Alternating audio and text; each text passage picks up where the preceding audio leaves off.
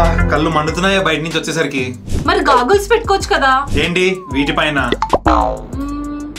Idea. ఇది use చేయి.